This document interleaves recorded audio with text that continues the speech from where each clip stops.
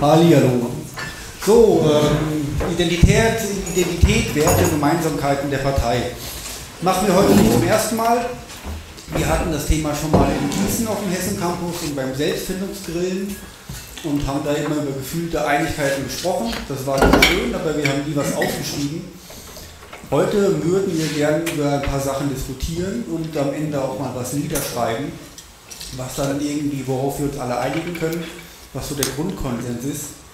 Ähm, schlauerweise hatte ich keine Zeit, mich vorzubereiten. Der Reinhard allerdings schon. Der Reinhard und ich äh, haben ähnliche Slots eingereicht, die wurden zusammengelegt. Ähm, der hat auch ein paar Folien gemacht, die zeigt er uns gleich. Der Jörg, der sitzt hier vorne, der ähm, hat sich ebenfalls vorbereitet und hat äh, das auf dem Beamer wird er gleich schön aufbereiten und wird hier die Moderation eigentlich übernehmen und auch mitschreiben. Ähm, wenn du mal die Folien jetzt von ihm gleich ähm, online bringst, dann gebe ich dir mal weiter. Die Folien sind online, oder? Ja, nee, ich habe ich hab alles hier. Okay. Ähm, okay. Äh, ja, das Thema Grundwerte, äh, wie der Stefan sagte, ist schon mehrfach diskutiert worden, von, von Ihnen ja auch eingebracht worden. Ähm, warum ist das Thema, also ich will eigentlich nur kurz darauf eingehen, warum ich das Thema Grundwerte für wichtig halte und warum es für notwendig halte und auch für eine notwendige Voraussetzung halte, dass wir Grundwerte definieren, weil das für mich die Voraussetzung für das ist, was ähm, so in der Piratenpartei als Politik 2.0 kursiert, beziehungsweise das, was ich darunter verstehe. Und ich möchte euch einfach mal jetzt ein Modell vorstellen, was ich darunter verstehe. Und ähm, wie gesagt, am Schluss komme ich dann wieder auf die Grundwerte zu sprechen, die wir dann ähm, äh, füllen mit Inhalt füllen sollten und aufschreiben sollten, damit wir wirklich die Grundlage haben für die neue Politik. Was, wie, wie läuft Politik so nach meiner Wahrnehmung üblicherweise ab ähm, oder häufig ab? Häufig läuft es so, dass es irgendein Problem gibt, ein, ein politisches Problem wird definiert, äh, eingebracht in die Politik und dann bildet sich die Partei A eine Meinung, äh, wie die Lösung aussehen könnte. Die Partei B bildet sich eine Meinung, wie die Lösung aussehen könnte. Äh, C und D auch. Ja, die Lösungen von Partei C und D, die laufen ins Leere, weil die gerade in der Opposition sitzen. Ja, und Partei A und Partei B setzen sich zusammen und ähm, machen dann halt aus ihren unterschiedlichen Positionen einen Kompromiss. Ähm, mal zurück, nein, ist egal. Ähm, Also, meine Thesen, wie Politik 1.0 aussieht. Ähm, also, äh, die, die, das Anbieten von konkreten Lösungsinhalten für politische Probleme führt dazu, ähm, dass Positionen eingenommen werden, die ungern verlassen werden. Ja, also wir können das als Beispiel nehmen, Beispiel das Thema Elterngeld. Ähm, ja, da ähm, hat halt die CDU hat halt ein Problem, die CSU hat ein Problem wahrgenommen, hat gesagt, um, die um dieses Problem zu lösen, dass eben auch die, die Mütter, die ihre Kinder zu Hause erziehen, was davon haben, brauchen wir das Elterngeld. Ja? Und ähm, ein Problem, eine fertige Lösung und äh, andere Parteien waren anderer Meinung und darüber wurde sich dann unterhalten, aber die CSU hatte das zu ihrem Thema gemacht und konnte deswegen diese Position auch nicht mehr verlassen. Ähm, Bürger und Betroffene können sich in diese Diskussion letzten Endes nicht einbringen, es sei denn, sie beteiligen sich an den Diskussionen in den Parteien. Ähm, letzten Endes werden in der Regel die Positionen nicht vollständig durchgesetzt, sondern es werden irgendwelche Kompromisse gemacht, aber nicht immer sind Kompromisse die wirklich besseren Lösungen. Ja, manchmal ist ja eine Lösung irgendwie schon durchdacht, also eine, eine angebotene Lösung durchdacht und rund und wird durch einen Kompromiss eigentlich zu einer schlechteren Lösung. Häufig werden äh, in den Verhandlungen dann Positionen besetzt, äh, von Ausgang, also Ausgangspositionen besetzt, ähm, die einfach jenseits der, äh, dessen sind, was man erreichen will, einfach weil man weiß, in den Verhandlungen, da geht es dann, gebe ich dir was, gebe ich mir was, so immer Stück für Stück nähert man sich an. Deswegen fordert man das Doppelte von dem, was man haben will. Ähm, oder es werden verschiedene Themen miteinander vermengt, also was weiß ich, Elterngeld hier und irgendeine FDP-Position auf der anderen Seite. Damit die FDP dem Elterngeld zustimmt, dann stimmt die CSU dem anderen zu. Kompromisse sind nicht die besten Lösungen, hatte ich schon gesagt, und die eigene Position, wenn die eigene Position durchgesetzt wird, dann bedeutet das ja für den anderen, dessen Position eben nicht, der seine Position nicht durchsetzen konnte, ist das letzten Endes eine Verletzung. Es findet hier, wir hatten ja vorhin das Thema Kommunikation, es gibt immer eine Beziehungsebene und es entsteht ein Schaden auf dieser Beziehungsebene, wenn ich meine Position gegenüber dem Widerstand eines anderen durchsetze. Und dieser Schaden auf der Beziehungsebene, der wird irgendwann wieder umgedreht, dann kommt nämlich der andere und versucht dann äh, das gleiche Spiel auf meiner Seite. Das sind einfach Thesen, die ich aufgestellt habe. Das muss nicht alles richtig sein, nicht alles auf jede Situation passen. Ähm, aber das ist etwas, was ich gerne anders machen möchte. Und wie will ich das anders machen? Ähm, ich will das anders machen, indem wir eben jetzt und hier über die Grundwerte reden, indem wir die Grundwerte festlegen und die Grundwerte definieren.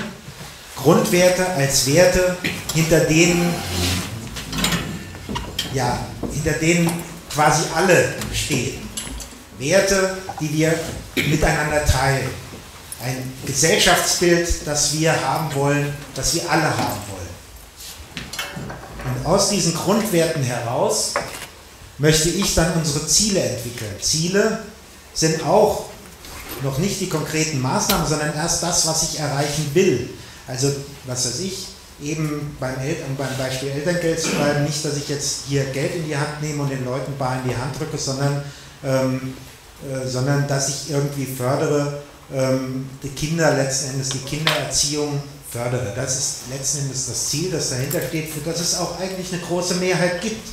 Ja, nur der Weg dahin, das ist eben die Frage, um die es geht. Aber ich will auf dem Punkt stehen bleiben, wo wir Ziele definieren und Ziele festlegen, wo wollen wir eigentlich hin und aus diesen Zielen will ich dann unser Programm entwickeln diese Ziele kann man immer ein Stück weiter runterbrechen, aber daraus will ich das Programm entwickeln. Also, Grundwerte sind die von allen getragenen und geteilten Grundwerte im Sinne eines angestrebten Gesellschaftsbildes sozusagen als das Leitbild.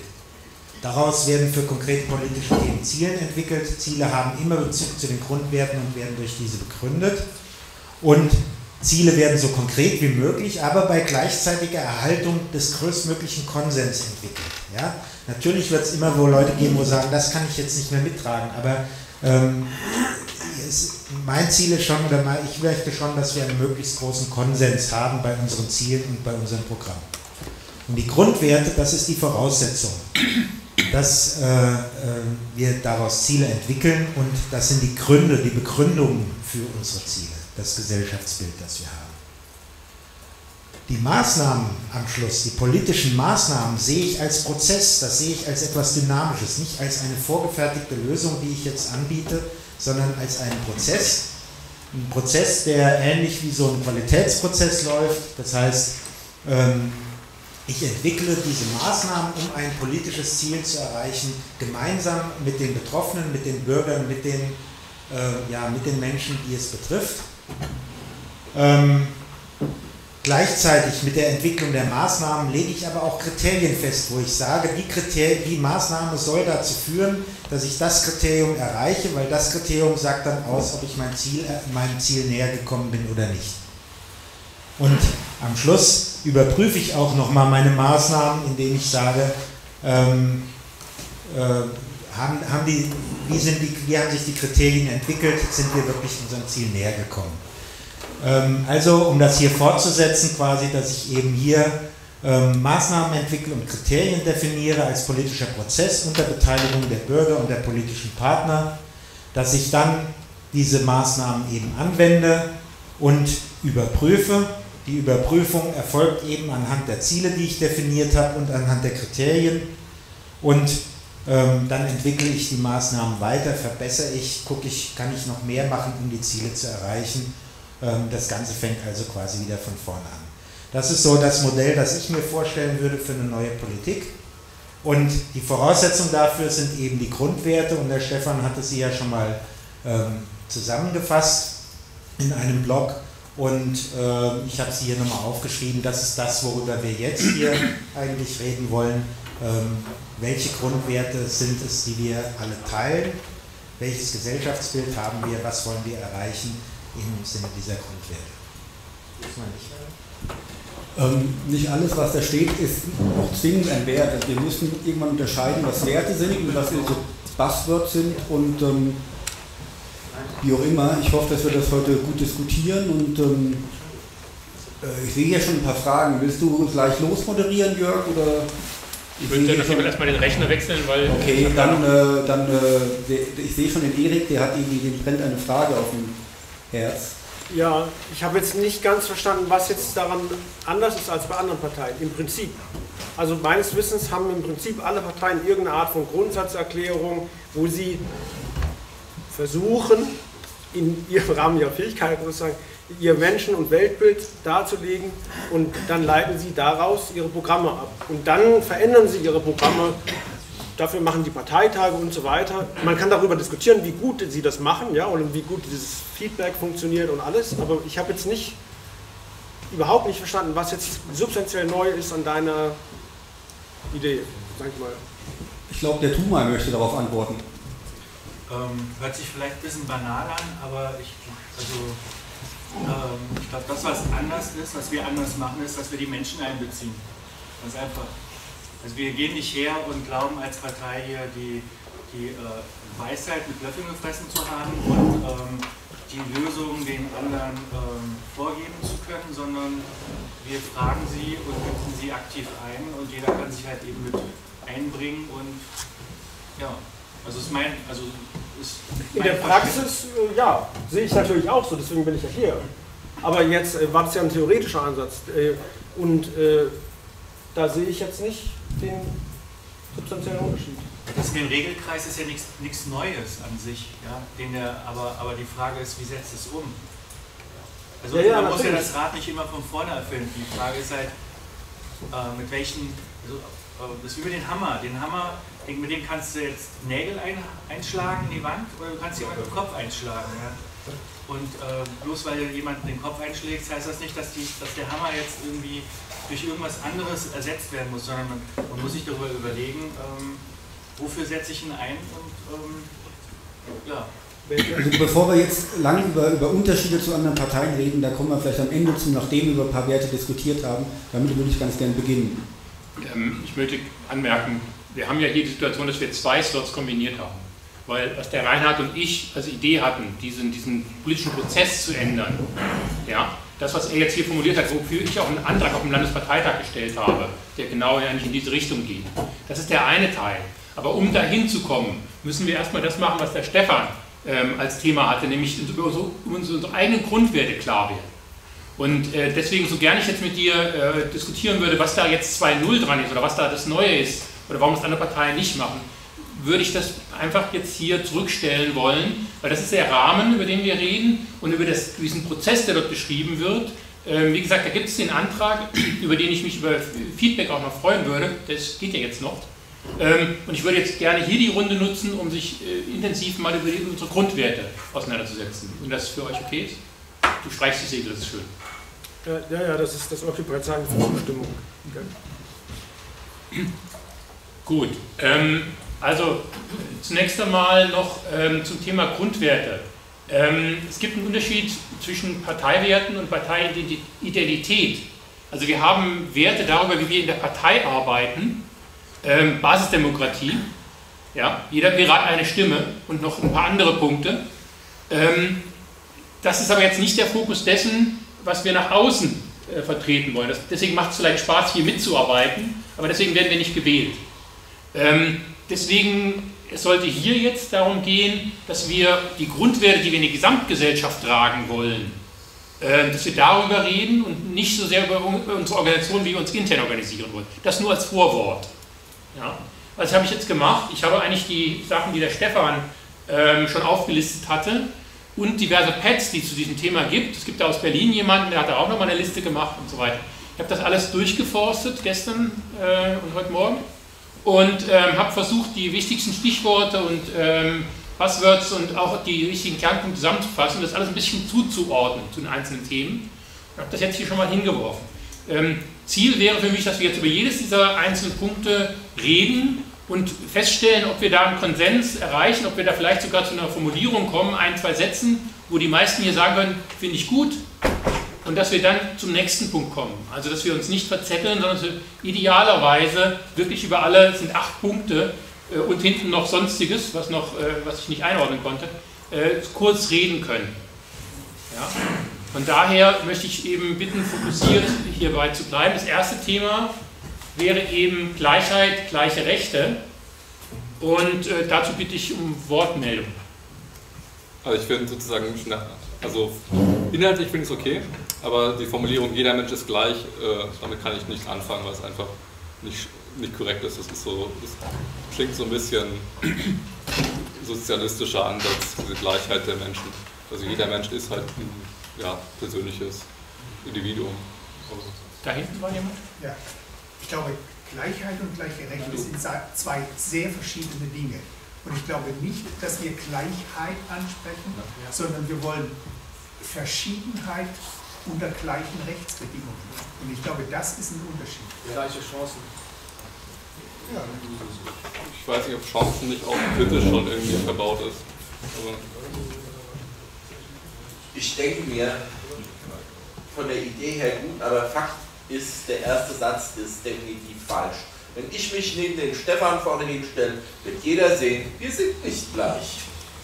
Und das lässt sich nicht wegdiskutieren. Das lässt sich auch nicht sozialistisch wegbefehlen. Wir sind anders. Wir sind alle, ich sag mal ein bisschen anders, jeder hat andere Vorlieben. Fakt ist, was aber wichtig ist, dass jeder die gleiche Grundrechner hat und haben muss, wo zugestanden bekommen muss. Gleichzeitig hat aber jeder durchaus vielleicht unterschiedliche individuelle Bedürfnisse. Vielleicht auch durch seine äh, Körperlichkeit gegeben, dass der eine vielleicht technische Hilfsmittel braucht oder ähnliches. Das, wir sind nicht gleich. Und äh, wichtig ist, dass wir Formen finden, wie wir miteinander leben können, sodass jeder praktisch das bekommt, was für ihn wichtig ist. Und das müssen wir, ich sag mal, in irgendeiner Form in Worte kleiden. Aber ich denke, das sind die falschen Worte. Meinst? Ähm, möchtest du Schlagwörter aufzählen oder möchtest du also so, so, so eine Art ähm, äh, so, wie heißt das, äh, Antikoden machen, also Pluralität äh, oder trotz Pluralität, ähm, gleiche, Rechte, äh, gleiche Rechte oder sowas. Schön wäre eine Überschrift und jeweils zwei Sätze. Das wäre mein Idealbild an dieser Stelle. Von daher, wenn jemand Kritik zu ähm, der Formulierung hat, die ich jetzt auch bisher berechtigt finde, wäre super, wenn man auch mit einem Vorschlag äh, rauskommen würde, wie es zu formulieren wäre. Da, der, auf Vorschlag kann da hinten zuerst die erste Hand. Äh, jeder Mensch ist ein Individuum, jeder hat dieselben Rechte.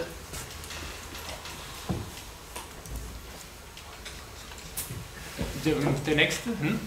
Ich würde einfach den Satz noch dazu verdient die gleichen Chancen. So. Entschuldigung, kannst du die Redner äh, Ganz konkret, wir haben festgestellt, dass wir alle nicht gleich sind und insofern haben wir auch nicht dieselben Chancen. Wenn wir beispielsweise körperlich anders sind, haben wir nicht die gleichen Chancen, dieselbe Zeit auf 100 Meter zu laufen. Damit müssen wir uns abfinden. Aber eine Bewerbung oder irgendwas ähm, soll jeder gleich bewertet werden und die Chance haben oder durch Hilfsmittel.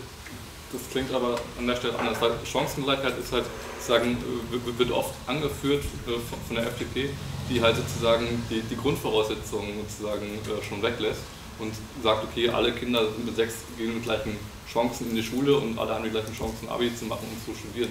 Was einfach sozusagen die, die Grundvoraussetzungen äh, außer Acht lässt. Deswegen ist Chancengleichheit würde ich an der Stelle nicht anführen. Also das können wir später an vielleicht einer passenderen Stelle anführen, aber nicht unter Gleichheit oder gleiche Rechte. Äh, du da hinten, von dem ich nicht weiß, wer du bist, genau du, und dann hier der Christian. Also da war es jetzt nicht ganz klar, ob es eine exakte Formulierung hier geben muss oder ob ich mich hier erstmal versuche, das inhaltlich klar zu kriegen und mache eine bessere Formulierung später. weil da stand ja eben, jeder ist gleich, also eigentlich inhaltlich, jeder ist gleich, jeder Mensch ist gleichwertig. So habe ich es verstanden, vom Inhalt. Ja. Das Wort gleich sagt natürlich was ganz anderes aus. Ne? Aber wenn man uns vielleicht hier hingehen kann, man, man einigt sich auf den Inhalt und sucht dann bess, äh, bessere Formulierungen später zu finden.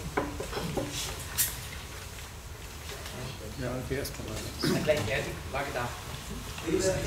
Ja, es gab eben schon die Formulierung von hinten. Ich schlage ja, vor, ich leider verpasst. Ich kann es dir nochmal sagen. Ja. Ähm, ich möchte vorschlagen, dass wir die perfekte Formulierung äh, vielleicht zurückstellen, äh, soweit wir uns einig sind, dass wir dasselbe meinen. Und äh, ich bin sehr zufrieden mit der Formulierung zuerst mal hier, wir haben gleiche Rechte. Und äh, sonst ähm, kommen wir nicht eigentlich auf das Wesentliche, nämlich auf die Werte. Der ganze Text ist ja ziemlich lang und wenn wir da an jedem äh, Wort die perfekte Bedeutung suchen, ich denke, es ist schade um die Zeit. Also das Wichtigste, dass wir dasselbe meinen. Ähm,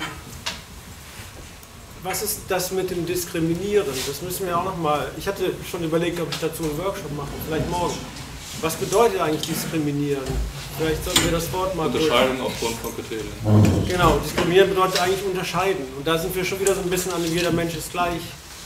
Man darf keine Unterscheidung machen. Äh, das Wort ist deswegen macht man ja solche schönen Fremdworte, weil, weil dann weiß keiner so genau, was gemeint ist, aber jeder kann es irgendwie immer dem anderen anhängen, du diskriminierst mich ja jetzt gerade oder so. Äh, das ist schon wieder so ja, sehr stark interpretierbar. Das ist eine Ansicht, glaube ich, äh, an den Staat. Der Staat soll nicht diskriminieren. Das ist sozusagen. Ja, selbst der Staat da hat, der Knut hat gerade zu Recht gesagt, es können nicht alle dieselbe Zeit laufen auf 100 Meter. Das heißt, der Staat muss dann auch schon wieder diskriminieren. Im Sportunterricht, meinetwegen, wenn wir da eine Benotung weiterhin haben. Ich greife da jetzt mal einfach so ein bisschen ein, weil ich mir das Moderatorenrecht äh, hier vorher habe rausnehmen lassen. Ähm, ich gebe dir recht mit dem Interpretieren. Ähm, ich sage den anderen Satz, den wir auch interpretieren können. Die Würde des Menschen ist unantastbar. Also die Dinge müssen interpretiert werden. Sie müssen vielleicht auch mal wieder neu interpretiert werden. Ähm, für mich ist das jetzt aber gegenüber dem, was wir vorher da stehen hatten, durchaus schon ein Fortschritt, weil jeder Mensch ist gleich, das hat mir eingeleuchtet, das war wirklich, ähm, das traf es nicht so gut. Ähm, ich gebe zu, dass man so diskriminiert noch sehr viel sagen kann, ich fände auch ein Slot dazu nicht schlecht. Ähm, die Idee ist halt, eine kurze Formulierung zu haben und dann natürlich diese Dinge auch auszuarbeiten. Also da einen, äh, eine Position zu haben, zu haben zu den Sätzen, die wir hier machen, die halt mehr umfasst als nur zwei Sätze. Also man kann in meinen Augen diskriminieren und drei, gibt es sozusagen drei Bedeutungen heutzutage im, im, Alltag. Das eine ist, dass man Menschen abwertet. Also dass man äh, möglichst gruppenweise oder so, dass man sagt, was ich, der hat so und so eine Nase oder so und so eine Haarfarbe oder was auch immer, Hautfarbe und das ist ja weniger wert. Die zweite Bedeutung ist, dass man ähm, Menschen ausgrenzt. Dass man sagt, hier, was ich, äh, wir machen unsere Treffen immer im dritten Stock und es gibt keinen, Rollst äh, keinen, keinen Fahrstuhl. Wer halt nicht, wer halt Bewegungsproblem, mobilitätseingeschränkt ist, der ist halt damit ausgegrenzt. So wird das Wort auch verwendet. Äh, obwohl wir das vielleicht noch nicht mal selber merken, dass wir das tun mit den Leuten. Ja, passiert es. So, und das dritte ist eigentlich noch die, die ursprünglichste Bedeutung, das heißt nämlich, dass man eben unterscheidet zwischen Menschen. Ähm, aber jetzt in dem Zusammenhang, wie das Wort heute verwendet wird, meinen wir das auch in dem Sinne, dass man unterscheidet, dass man Unterscheidungen macht, die nicht legitim sind oder die nicht nötig sind.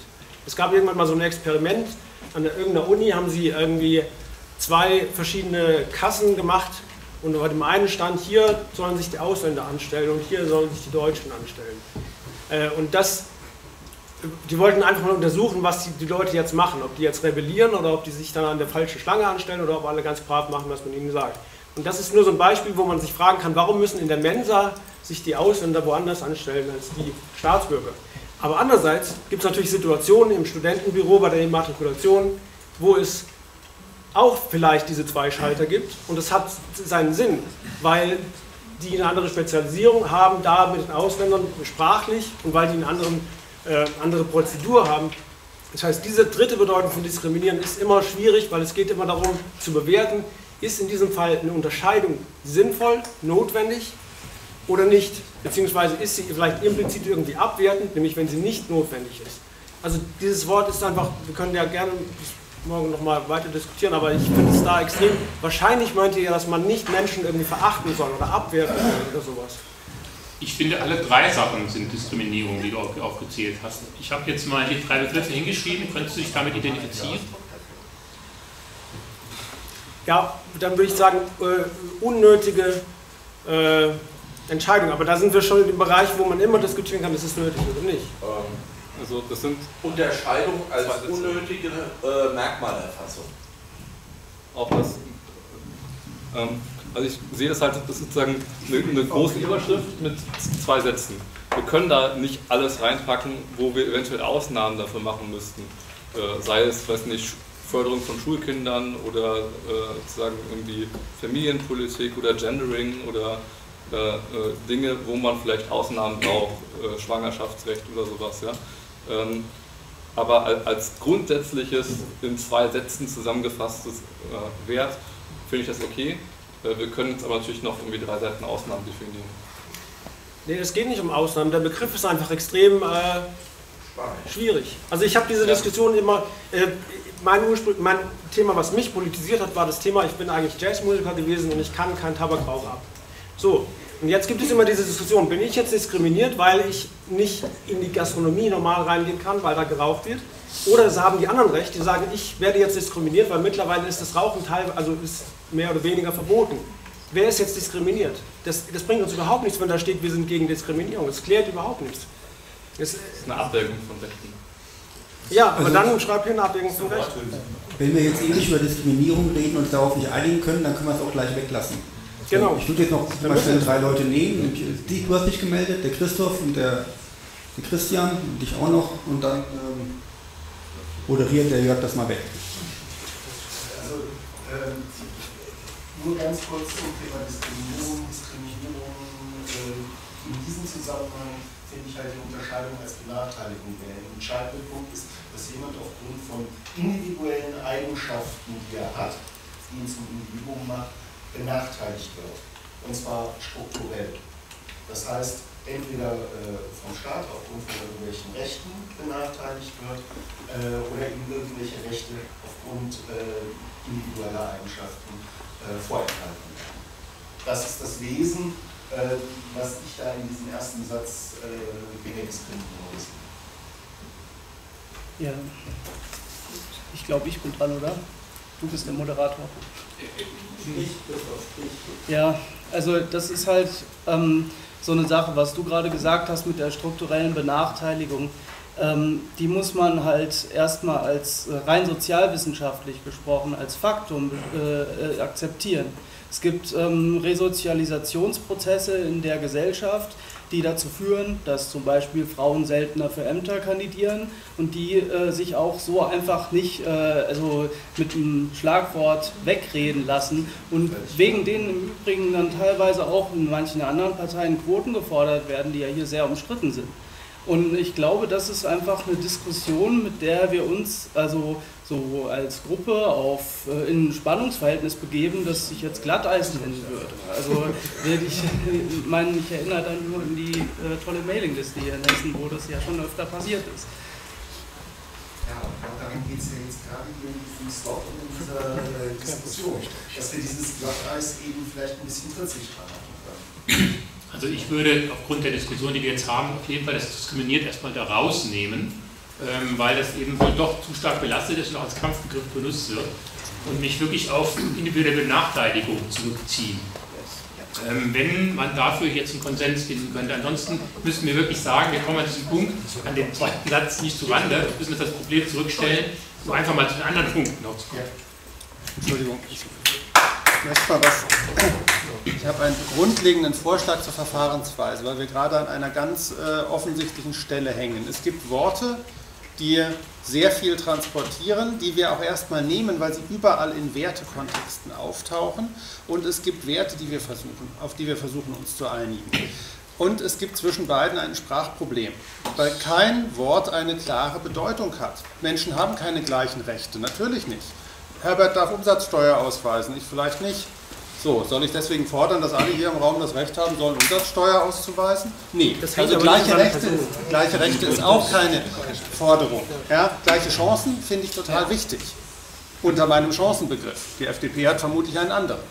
Ähm, wenn wir uns an den Wortbedeutungsdiskussionen jetzt aufhängen, dann kommen wir zu gar nichts. Dann kommen wir danach zu einem Haufen, zu der Erkenntnis, dass wir sehr viele verschiedene Definitionen von Worten haben. Deswegen würde ich vorschlagen, von der Verfahrensweise her, dass wir solche gern benutzten Schlüsselworte bestenfalls sammeln und sie überhaupt nicht hinterfragen und auf der anderen Seite versuchen mal uns darauf zu einigen, was meinen wir. Und das wird vielleicht ein Gestammel über einige Zeilen, für das haben wir noch kein Wort. Und dann können wir danach gucken, ob das, was wir unter einem Punkt, ja, es geht irgendwie so diffus um Gleichheit, etwas soll, etwas teilen alle Menschen auf der gleichen Ebene, was meinen wir damit? Danach versuchen wir zu gucken, passt eines der pauschalen dafür benutzten Worte für uns alle oder brauchen wir halt ein anderes? Und möglicherweise passt dann Chancen, vielleicht auch nicht. Vielleicht passt Chancen, wir meinen es anders als die FDP. Okay, muss man mit leben. Die Sprache hat nur bestimmte Worte.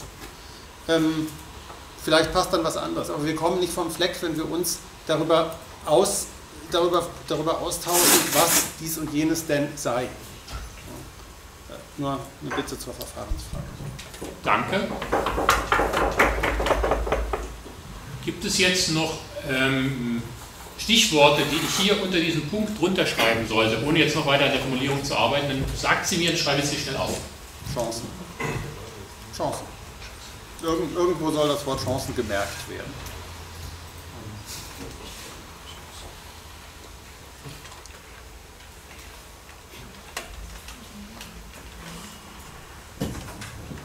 Artikel 1 Grundgesetz. Das haben wir unten, das kommt, Grundgesetz kommt nochmal extra. Also, Das ist noch meins, Ja. weil ich glaube, das ist eigentlich das und die Würde des Menschen ist unantastbar. Hat es, also der Menschenwürdebegriff äh, mit Diskriminierung und Ähnlichem hat das Verfassungsgericht schon Jahrzehnte Ja, lang beschäftigt okay. und immer wieder wurde festgestellt, und wir haben es ja auch mal festgestellt, dass wir die Grundgesetzpartei sein wollen. Aber Grundgesetz der Satz sagt Ich hab's schon eigentlich alles aus. Ja. Ich habe grundsätzlich ein Problem mit dem nächsten Punkt, gerechte Verteilung. Wir haben auch jetzt für den BPD äh, in äh, Bochum haben wir auch einen Antrag Verteilungsgerechtigkeit äh, im Wirtschaft, äh, im Grundsatzprogramm. Äh, gerecht konnte mir auch in der Mammel-Sitzung keiner äh, eine adäquate Definition geben. Äh, gerechte Verteilung? Hier aus dem PET, die Beratungsseite für eine gerechte Verteilung aller Errungenschaften Lasten. Okay, das ist aber nur, was jemand interpretiert. Also das ist jetzt nicht, Okay, es geht okay. hier, das ist der. Satz, das ist die Überschrift und der.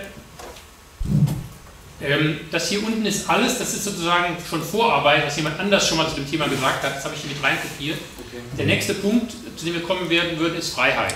Das wäre allerdings bei dem ersten noch, würde ich was sagen. Ja. Oben, bei dem, beim ersten noch. Also ich kann nicht viel damit anfangen, dass heißt, ähm, alle haben die gleichen Rechte. Das, das, äh, das, das kann so nicht stehen. Die Menschenrechte vielleicht, aber nicht die Rechte. Wir haben nicht alle die gleichen Rechte. Als Ziel. Es als Ziel gedacht. Nein, auch als Ziel haben wir und werden wir nie die gleichen Rechte haben. Es geht nicht um die gleichen Rechte. Das wurde, äh, wir haben, das Recht bedeutet sehr viel, nicht nur äh, das eine.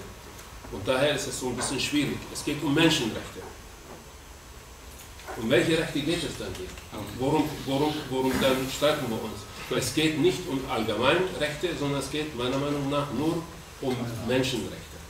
Es geht auch um Es geht nicht um Rechte. zu sagen, ja, ich habe auch das Ja. Recht, mal was weiß ich hier zu spielen, ich habe das Recht, da reinzugehen, ich habe das Recht, das auszustellen, ich habe das Recht, was weiß ich was zu machen. Darum geht es nicht, sondern es geht um die gleichen Menschenrechte unter den gleichen Voraussetzungen. Grundrechte. Grundrechte und Grundchancen, aber Geht wohl auch um die gleichen Entschuldigung, jetzt sind wir wieder an der Formulierung. Ähm, es sind noch mehr Punkte. Ähm, ich habe jetzt noch aufgenommen, dass eben Rechte hier gemeint ist im Sinne von Menschenrechte, im Sinne von vor dem Gesetz gleich. Nicht im Sinne von, der darf mit meiner Frau schlafen. Ja? Also, Grundgesetz, Artikel so als schon Ja, ja, finde ich auch. okay. also das sind Klarstellungen, man muss das präzisieren, aber man muss irgendwo auch mal eine Formulierung haben, da kann man die noch erläutern, was man darunter versteht. Äh, entschuldige, aber ich habe auch das Recht, mit deiner Frau zu schlafen, wenn sie es will. ja, Ja. Das, das, das ist der Punkt. Es geht hier definitiv um alle Rechte bei gleichen Voraussetzungen. Du hast das Recht, um eine Frau zu werben, wie jeder andere auch. Aber du hast überhaupt kein Recht. Ja? Du kannst das reinklagen. So, können wir, jetzt, können wir zum Thema Freiheit weitergehen? Das Recht kannst du ja einklagen, das andere wollen nicht. Also wollen wir. Freiheit. Wir stehen für ein möglichst frei gestaltbares Leben aller Menschen. Für eine Gesellschaft sind Regeln notwendig, aber diese sind minimal zu halten, um niemanden in seiner Entfaltung zu stören. Markus. Also ich habe damit grundsätzlich ein Problem. Äh, es gibt zwar diese Formulierung, ähm, ja, wir sind sozusagen alle frei und nur in der ähm, Ausübung der Rechte durch äh, Einschränkung anderer eingeschränkt. Aber äh, wenn man zum Beispiel dann im Bereich Umwelt denkt, dann äh, muss man da zum Beispiel auch, weiß nicht, zukünftige Generationen mit eindenken oder sowas. Ähm, möglichst viel Freiheit ist schon ein Ziel, aber ähm, es hat halt schon äh, sozusagen Einschränkungen im Bereich Rechte anderer oder auch ähm, ja, Umwelt- oder Ressourcennutzung. Verantwortung. Ja. Um, ich würde möglicherweise den Begriff Freiheit durch Selbstbestimmung im Spannungsbogen zu Fremdbestimmung setzen. Weil ich glaube, das ist ein, ein großer Fehler generell seit Plato, dass wir um Freiheitsbegriffe uns streiten. Eigentlich geht es um, immer in unserem auch sozialen Leben immer um Selbstbestimmung und Fremdbestimmung. Das ist der Kontext, in dem sich sehr viel abspielt. Aber gerne Kritik, ich bin ganz ohr. Das war ein Plus. Ich wollte es eigentlich so ähnlich sagen. Also das, das schließt jetzt daran noch an, äh, das ist ja auch, ich, ich sehe, das hatte auch überlegt, dazu eine Slot zu machen, zwischen, äh, zwischen Handlungsfreiheit und Willensfreiheit zu unterscheiden. Also das klingt mir sehr noch nach Handlungsfreiheit, heißt jetzt soll man machen können, was man will, ähm, aber die, das Konzept von Willensfreiheit, also von Selbstbestimmung, geht vielmehr ja das, dahin, dass man sagt, jeder, und das ist auch ein Weg, das ist nicht, ähm, also die Aufklärung ist ja, wir, wir sind sozusagen jetzt nicht aufgeklärt heute, sondern die Aufklärung ist ein Weg, der sagt, die Leute, die sollen die Möglichkeit bekommen, also von der politischen Seite her, und das Ziel des Einzelnen sollte sein, dass er sich selbst sozusagen kennenlernt und seine eigenen Willen überhaupt zu erfahren und zu entwickeln. Und natürlich hat es dann auch was mit Verantwortung zu tun. Äh, und nicht, also da finde ich, muss man sehr aufpassen, dass wir nicht in so eine FDP-Schiene rutschen, jeder soll machen, was er will. Ähm,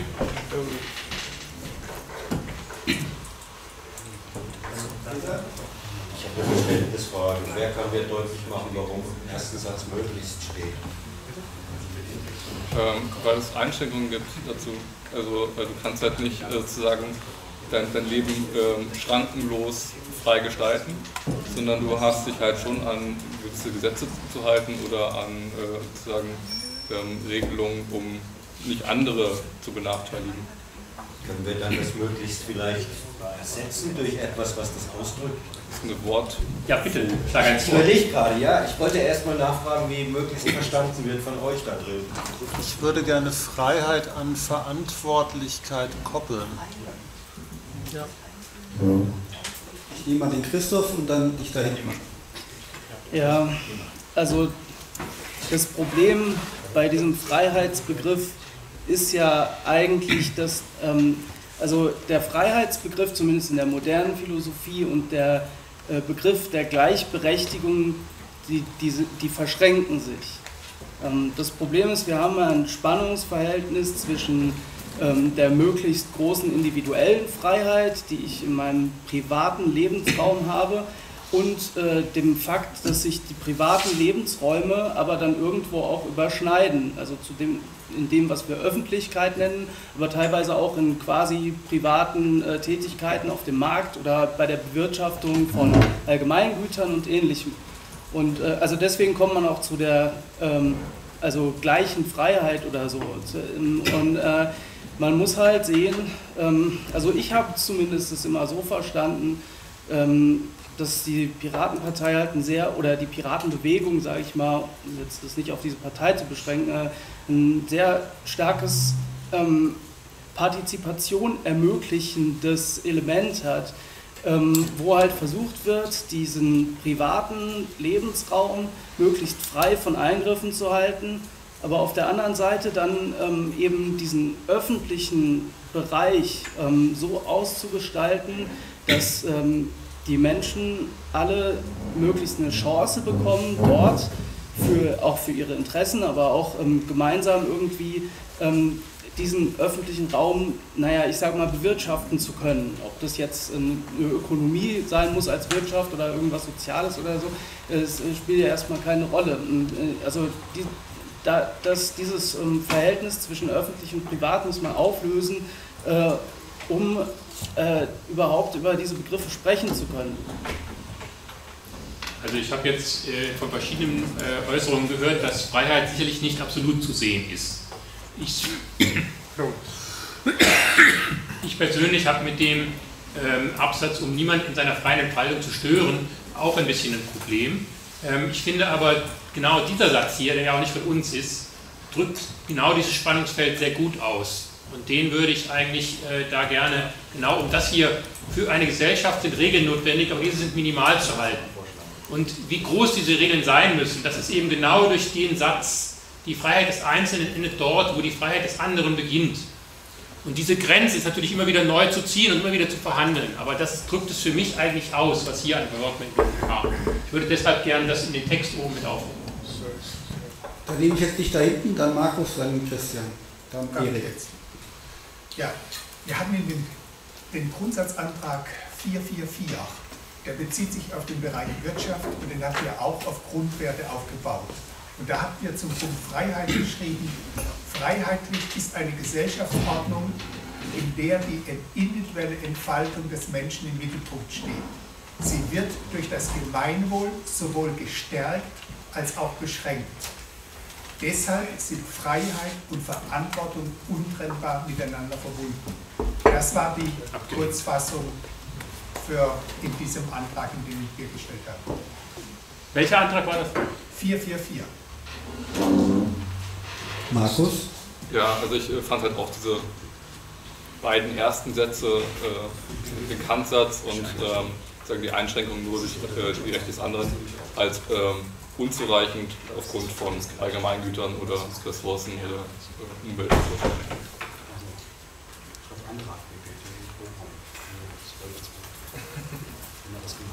Ja, ähm, ich habe mal ein bisschen in unseren alten Sachen gekramt und mir ist aufgefallen, wir haben die äh, damals rausgekommene Frankfurter Manifest, man kann sich vielleicht noch daran erinnern, auch den Begriff Freiheit eigentlich mal sehr ausgiebig definiert gehabt, äh, in Bezug auf äh, die Piratenpartei und wie wir Freiheit definieren könnten. Ähm, ich weiß nicht, ob es vielleicht sinnvoll wäre, das ist ein bisschen längerer Absatz, den mal aufs, äh, äh, auf den Beamer raufzuholen. Weil da ist halt auch ähm, der Freiheitsbegriff ziemlich genau definiert für uns. Da hat man auch gesagt, Freiheit ist immer auch Freiheit der Andersdenkenden. Freiheit ist ein gesellschaftliches, ein verpflichtendes Verhältnis von Menschen zueinander. Nur jene Gesellschaft ist frei zu nennen, in der tatsächlich die freie Entwicklung des Einzelnen zur solidarischen Entwicklung aller beiträgt. Neben einem individualistischen Verständnis von Freiheit ist ein kommunikatives Substanziell. Die wechselseitige Anerkennung von Fähigkeiten, Bedürfnissen und Wünschen ermöglicht erst eine gelingende demokratische und soziale Praxis. Die Wirksamkeit von moralischen Normen beruht auf der Erfahrung der Anerkennung, der Kooperation und der Solidarität. Selbstvertrauen, Selbstachtung, Selbstbestimmung und Selbstverwirklichung entstehen im Zusammenspiel mit anderen. Die wechselseitige Wertschätzung ist das Fundament der Ermöglichung von individueller Autonomie. Diese Autonomie ist dieses Selbst ist nicht einfach da, sondern muss entwickelt, bisweilen erkämpft werden. Und dazu haben wir dann auch nochmal den Franklin-Satz natürlich äh, auch mit dabei, der Freiheit ausgibt. Aus Sicht der Piraten sind Freiheit und Demokratie konstitu konstitutiv für alle gesellschaftlichen Handlungsfelder. Gewählte Repräsentanten des Volkes haben die Freiheit zu schützen, nicht abzubauen. Und dann halt nochmal unser beliebter Franklin-Satz, den wir ja auch seit Jahren immer schon gerne benutzt haben. Kann ich das irgendwie ähm, verlinken? Frankfurter-manifest.de Guck nicht so. Man muss ja nicht alles aus dem Manifest mögen. Aber den Bereich fand ich sehr gut. Ähm, Erik, du wolltest? Ja, ich wollte nur nochmal, äh, das finde ich jetzt auch vor allem auch von Arne äh, sehr gut, diese Selbstentfaltung. Äh, das, das hier ist mir alles noch zu äh, äußerlich, ja, dieses äh, frei gestaltbare, das ist dann so, ich weiß nicht, ich habe das Recht ins Kino zu gehen, das ist ja in Ordnung. Aber äh, diese Selbstentwicklung und diese Selbstentfaltung sind für meine Begriffe wesentlich äh, wichtiger letztlich als äh, Freiheitsziele. Und da, da, ist der Kant in diesem Fall mit diesem Satz auch zu wenig. Also das ist natürlich sowieso, das ist ja auch irgendwie eine Selbstverständlichkeit, oder? Die Freiheit des Einzelnen endet dort, wo die Freiheit des anderen beginnt. Aber das, was nicht eine Selbstverständlichkeit ist, glaube ich, ist dieses, dass man wirklich sagt, ja, äh, komm zu dir selbst oder was auch immer, entfalte dich. Das war, war wirklich sehr schön. Ne? Und auch dem Manifest fand ich gut.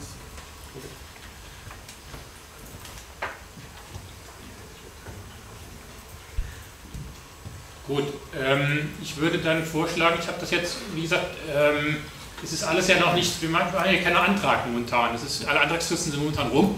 Ähm, von daher wird das Ergebnis, das wir hier haben, sicherlich erstmal wieder in, im Wiki und im Pad zu sehen sein und weitere Arbeit daher natürlich auch erwünscht, äh, um dann letztlich zum Antrag zu kommen. Deswegen würde ich jetzt auch äh, hier zum nächsten Punkt kommen wollen. Okay?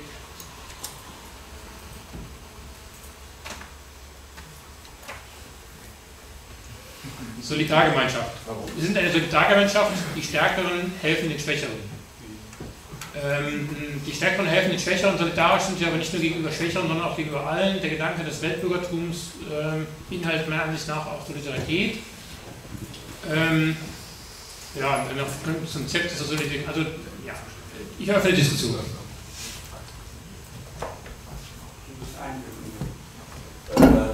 das mit den Stärkeren und den Schwächeren hört sich zwar erstmal gut an, aber wir sind eine Solidargemeinschaft, wir helfen einander. Das wäre eigentlich der konkrete Dass der eine natürlich mehr Hilfe braucht wie der andere, ist eine andere Geschichte. Würde ich sofort übernehmen.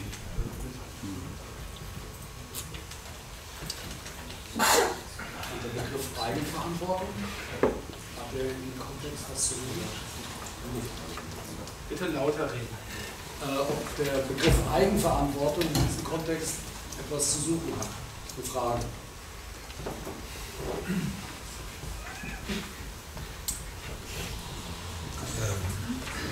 Meine, meine Meinung dazu, ich äh, äh, verstehe unter Hilfe nicht ähm, nicht die Hilfe, also das, vielleicht muss man den Begriff Hilfe dann nochmal definieren, ja, ähm, weil es geht mir nicht um äh, Hilfe, so deswegen bin ich auch mit dem Stärkeren und Schwächeren nicht so einverstanden, weil das so ein Hierarchiebild ist, ja, sondern das untereinander finde ich eine ganz tolle Formulierung.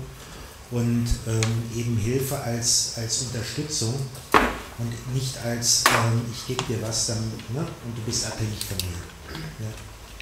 Äh, also so, wenn man das so, weil wir ja sagten, worum geht's, ja, wie man es formuliert, ist noch eine andere Frage.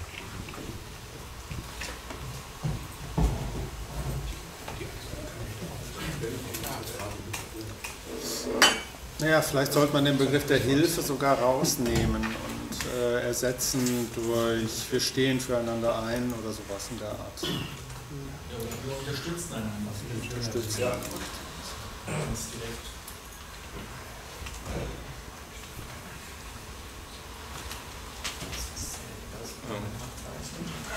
Es geht doch gerade dabei, das sind Werte, die wir nach außen tragen, also die wir politisch umsetzen wollen als Staat. Ja? Äh, und da finde ich dieses Wir, also dieses, ähm,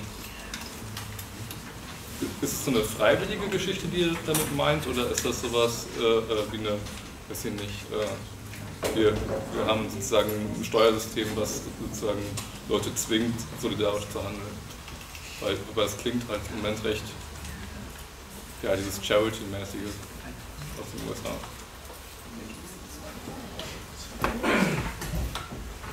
Ich denke mir, äh, was dahinter stehen sollte, ist eigentlich, dass das eigene Handeln äh, nicht nur auf die eigenen Vorteile reflektiert wird, sondern auch äh, auf die Auswirkungen für die Gemeinschaft.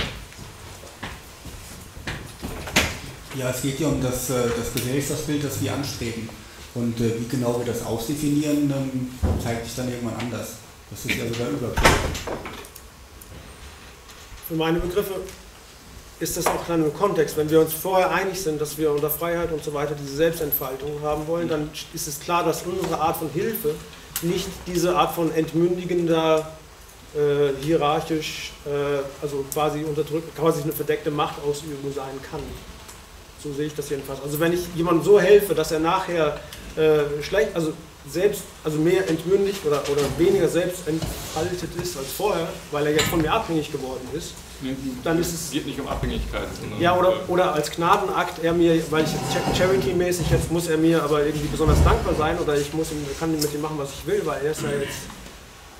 Äh also Solidarität sollte auch staatlich organisiert sein. Ach, das war jetzt nur der Punkt. Ja? Das würde ich ehrlich gesagt da offen lassen, weil wir wollen nur, dass es passiert. Aber wahrscheinlich muss man es großenteils staatlich organisieren, aber äh, wir wollen ja nur, dass es passiert, oder? Das ist ja nur unser Ziel.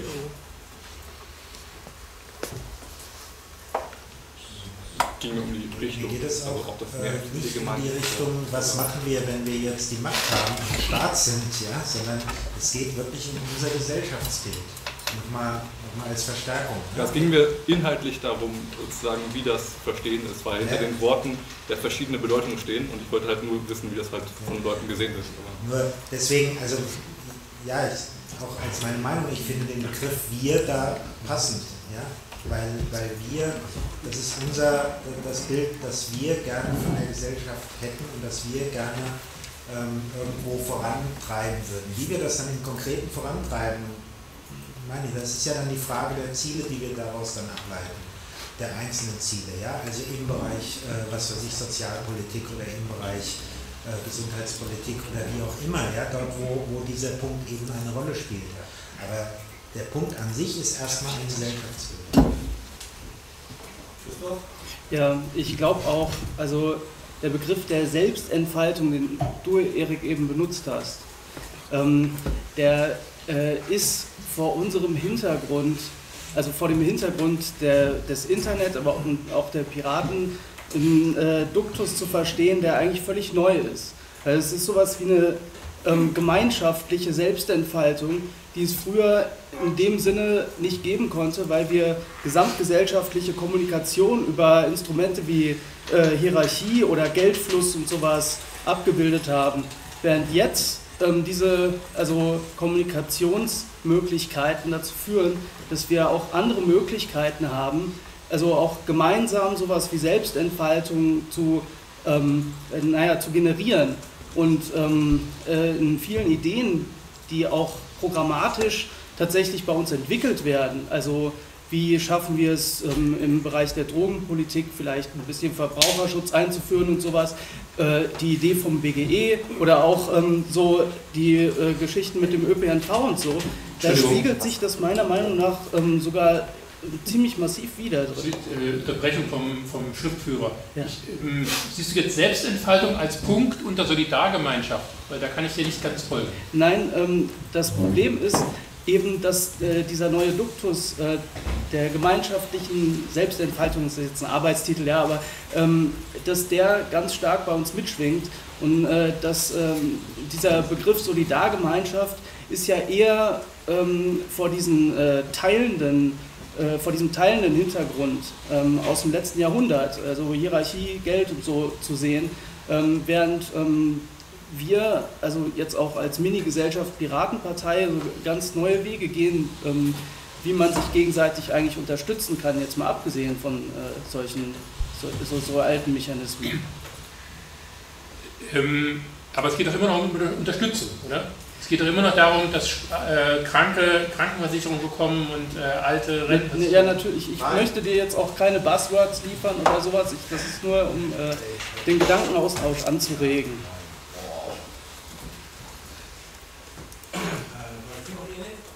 Äh, vielleicht ein Satz noch zu dir, Markus.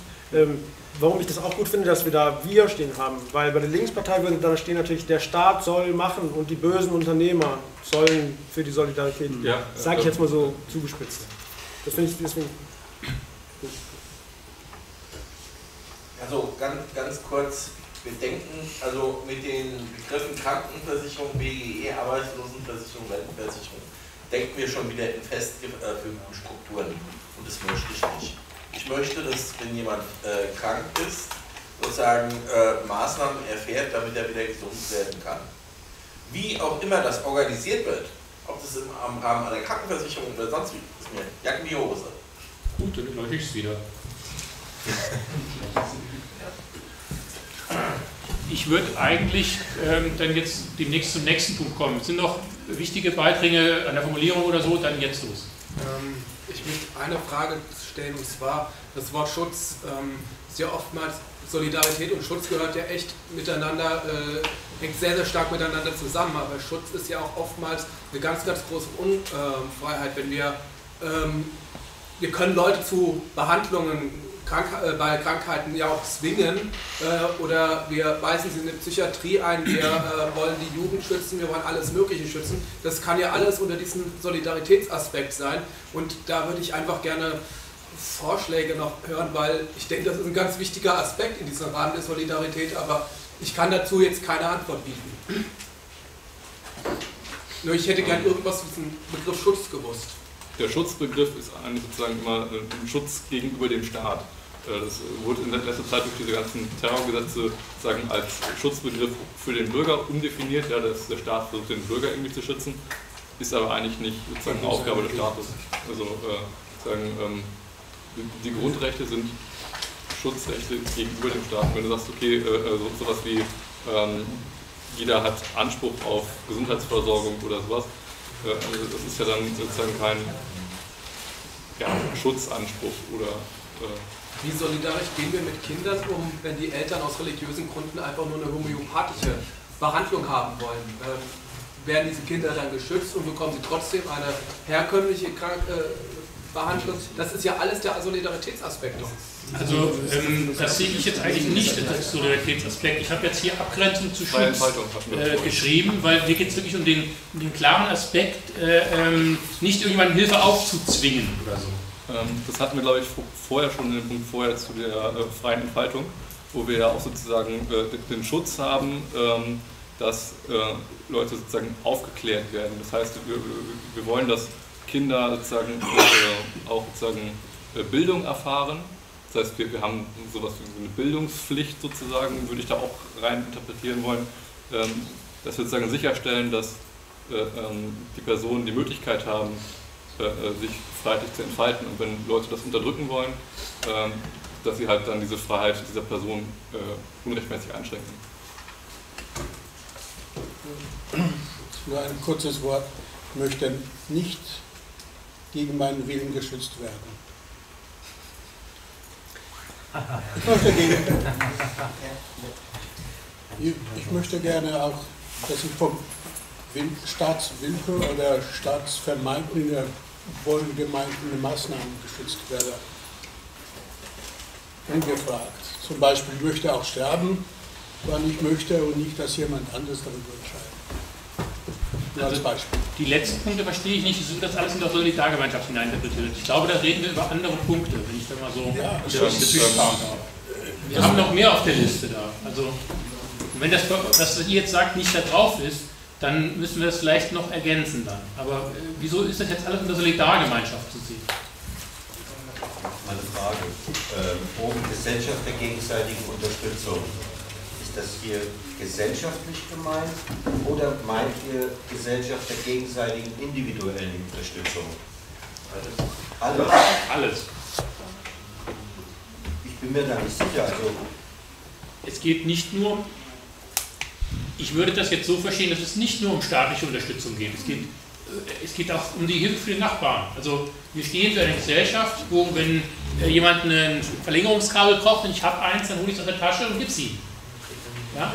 Es geht natürlich auch um, um staatliche Programme, aber es gibt zunächst mal das, was da steht, schränkt sich nicht auf staatliche Verteilung, dass jeder gleich viel Geld hat oder sowas. Und auf Solidarität als, als Grund, als Leitbild für eine Gesellschaft das ist, das ist ja das Charakteristikum von den Werten, ja, dass das eben Dinge sind, die, wo es eben nicht darum geht, das macht der Staat, sondern das ist ein Wert in der Gesellschaft. Das ist ein Wert in der Gesellschaft, dass wir uns gegenseitig unterstützen. Ja, so verstehe ich das. Ähm, Können wir nicht vielleicht doch mal zum nächsten Punkt kommen, bitte? Äh, ich glaube, wir kommen deswegen auch nicht wirklich weiter, weil ähm, offensichtlich, wir hängen wieder an einem Wort, jeder mit Solidarität ganz unterschiedliche Aspekte verbindet. Du wirst nervös, weil in deinem Solidaritätsbegriff kommt der Schutzbegriff nicht vor, der gehört unter einen anderen Punkt. Bei anderen Leuten gehört der Schutzbegriff unter einen Solidaritätsbegriff mit der gleichen Legitimität. Deswegen sind wir durchaus aus richtigen Gründen in, in, in einer Schleife und wir sind auch die ganze Zeit bei Solidarität mit dem Verantwortungsbegriff beschäftigt. Der ist doch eigentlich schon durch. Nee, der ist nicht durch. Ja, ähm, es wäre möglicherweise von der Abwicklung her hilfreich, wenn du ein neues Dokument mit wenigen Worten anfangen könntest. Nur so als Hinweis. Ähm, weil ich finde es sehr unübersichtlich. Und wir transportieren bislang eine Begrifflichkeit, also eine Trennung von sechs, acht Kategorien, die auch aus Traditionen, aus einem individuellen Verständnis, was die Kernbegriffe sind, erwachsen ist. Und das wird jeder hier würde sechs, acht Kernbegriffe anders voneinander separieren. Die hängen aber, was Christoph zu Recht gesagt hat, alle zusammen. Und die hängen auch alle zusammen in Hinsicht darauf, dass wir vielleicht genau diesen Zusammenhang neu verstehen wollen und auch heutzutage neu verstehen müssen. Deswegen ist es auch ein bisschen egal, an welchem Begriff wir uns gerade abarbeiten, weil wir arbeiten an etwas hinter diesen einzelnen Begriffen. Und ähm, wir müssen nicht diese Liste abarbeiten. Also würde ich jetzt mal sagen, damit kommen wir danach nur zu einer Liste, wie es schon andere Listen gibt. Und eine gute Liste stellt unser Grundgesetz dar, ähm, um viele Punkte abzuarbeiten. Ähm, was, wir, was ich sehr wichtig finde, ist diesen Verweis auf die Werte. Die Frage, soll der Staat dieses oder jenes, die sollten wir, wir sollten das Wort Staat vielleicht die nächste halbe Stunde mal rauslassen. Wir, höchstens in der Frage, dass es ein Wert sein muss, was was verstehen wir unter Staat? Also was ist überhaupt die Idee, was der Staat soll? Ob man irgendwas regeln soll. Solidarität hat nichts damit zu tun, dass der Staat Solidarität regeln soll. Solidarität ist ein, die Hinterfragung eines Wortes. Ob man es staatlich regelt, ist eine ganz andere Frage. Und ich würde echt vorschlagen, diese Frage, welche Aufgaben wir uns von dem Staat vorstellen, komplett zurückzustellen im Moment und höchstens als einen der Punkte am Ende anzunehmen kurz dann die Wortbedeutung erfragen von Werte. Werte. Ähm, also es wird jetzt ein bisschen viel Zeit fressen, wenn ich jetzt äh, die, die, das sind ja jeweils nur ein Satz, ne? Hier, für jeden Punkt ist immer ein Satz praktisch. Ich habe halt die Gedanken, die dazu äh, sonst schon geäußert wurden, halt äh, probiert, weil ich dachte, das hilft vielleicht. Wird jetzt zu viel Zeit fressen, wenn ich es irgendwie anders gestalten will. Ähm, außerdem, äh, auch irgendwann muss man, irgendwo muss man mit anfangen, mit Dingen, die man immer wieder iteriert, iteriert also ich würde einfach, obwohl, trotz deiner berechtigten Kritik, einfach weitermachen. Äh, und zwar jetzt mit dem nächsten Begriff, weil ich sehe die Probleme mit Solidargemeinschaft auch und dass vielleicht mein Begriff auch ein bisschen eng ist. Ich habe aber hier ja schon Abgrenzung zu Schutz, Bevormundung äh, äh, schon mal mit aufgenommen und weitere äh, Sachen werde ich dann auch Gelegenheit bieten. Ich veröffentliche das hinterher. Da kann jeder noch sich dazu äußern. Ähm, wobei ich eben auch wieder immer wieder editieren werde, also versuchen werde, die Sachen zu verfeinern. Ja? Nicht, dass wir hier wieder ein Pad haben, wo 500 Zeilen drin stehen und es muss auch immer wieder kondensiert werden. Grundrechte. Mal sehen, ob wir da auch so lange brauchen. Grundrechte werden geschützt und gestärkt. Da möchte ich mal einen Punkt, der mir jetzt zufällig unter die Finger gekommen ist, hervorheben. Der Deutsche Bundestag führt in der Tat eine Liste der für nichtig oder verfassungswidrig erklärten Bundesgesetze. Und es gibt eine Übersicht, das ist eine Bundestagsseite, auf der stehen 176 ähm, also Gesetzesänderungen, die alle vom Bundesverfassungsgericht zurückgenommen wurden. Seit 1990. Fand ich eine tolle Liste. Okay. Also der Passus Grundrechte werden geschützt und gestärkt, äh, fand ich erst überflüssig, aber seitdem ich das da gesehen habe, äh, sage ich, gehört bei uns rein. Übrigens ein super Spruch auch äh, für irgendwelche Infostände oder so. Ja? 176 Gesetze oder Paragraphen, die vom Bundesverfassungsgericht ähm, für nichtig erklärt werden. Aber das geht doch nicht um Grundrechte.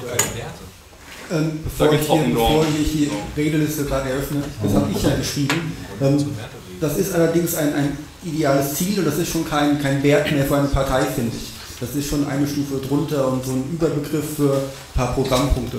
Ja, also es gehört für mich auch nicht unter die Diskussion, die wir momentan führen, weil es ist ja, also Rechte und Gesetze sind Mittel, um Ziele zu erreichen ähm, und Gesetze sind keine ethisch-moralischen Zielvorstellungen, sondern die versuchen halt äh, sozusagen äh, Umsetzungen davon zu sein.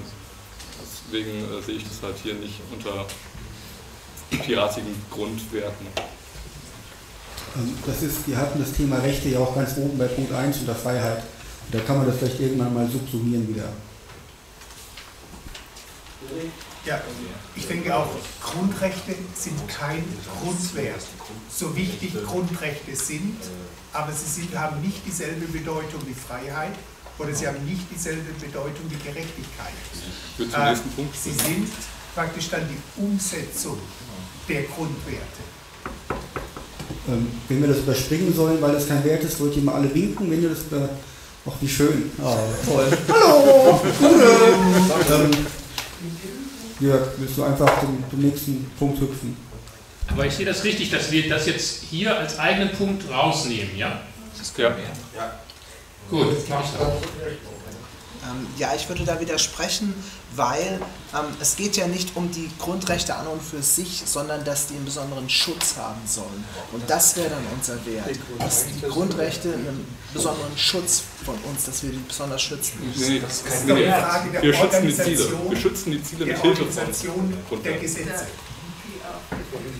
Also wir haben Ziele und wir schützen die Ziele mit Hilfe von Grundrechten. Also das ist halt ein Tool und nicht das Ziel. Erik, solange er jetzt noch schreibt, schieß los. Grundrechte äh, im Grundgesetz sind ja auch konzipiert als Abwehrrechte und dann erst als Leistungsrechte und das auch erst durch Rechtsprechung, wenn ich das noch richtig der Literatur weiß. Deswegen, es geht ja dann bei Grundrechten immer sozusagen in Bezug zum Staat. Das ist aber, okay. Also ich fand es auch überlappend. Ich nehme es jetzt erstmal raus, vielleicht kommt es an einer anderen Stelle wieder rein. Also das mal als Konsens und scrolle jetzt weiter. Ah, unter Lieblingsbegriffen. Transparenz. ähm, an dieser Stelle möchte ich, auch wenn wir jetzt eng mit der Zeit sind, eine kleine Auflockerung einbringen, weil ihr jetzt gerade den Text liest. Sekunde.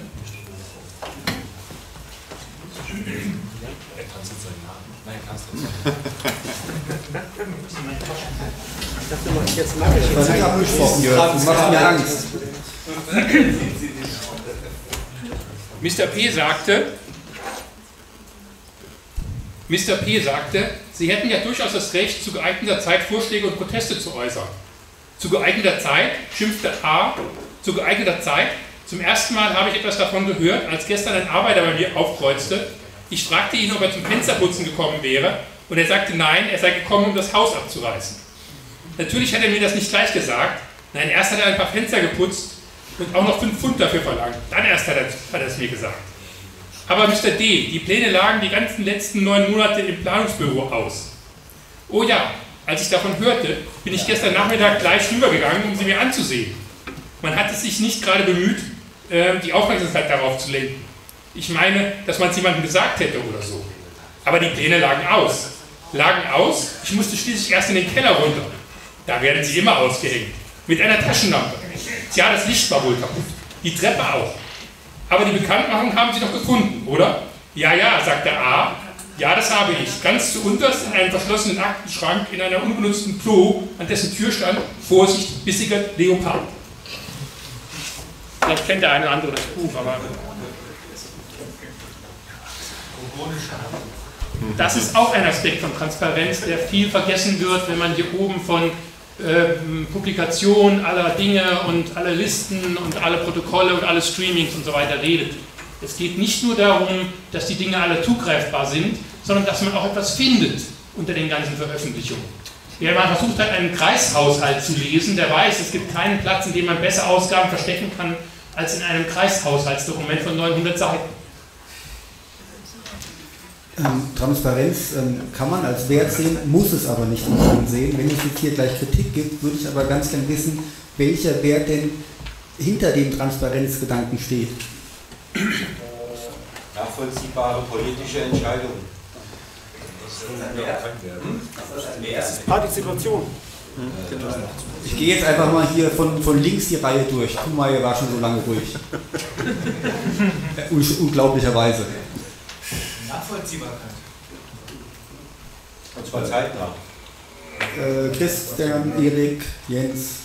Teilhabe. Teilhabemöglichkeit. Woran?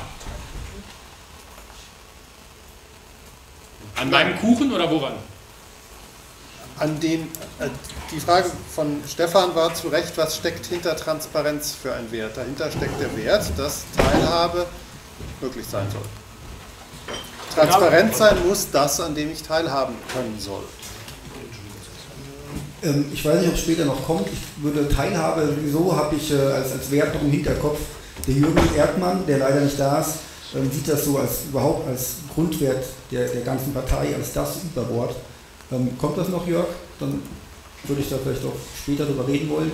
Sonst nicht als eigenständiger Punkt, nur unter Stichwort. Ah, okay. Vielleicht könnte die Reihenfolge. Dann nehme ich erstmal jetzt Erik und Jens. Also ich denke auch, Teilhabe ist das Entscheidende oder Partizipation, aber Teilhabe ist ja schön und oder Beteiligungsmöglichkeit und, und Transparenz ist wirklich nur ein Mittel zum Zweck. Weil ich kann natürlich nicht, also wegen dem Kuchen, ja, dann können wir es noch ausdefinieren, das ist natürlich Beteiligung an politischen und gesellschaftlichen Prozessen, Entscheidungsprozessen, äh, Diskursen, was auch immer. Äh, Transparenz ist wirklich nur ein Mittel zum Zweck in meinen Augen. Weil ohne da kann ich natürlich nicht teilhaben.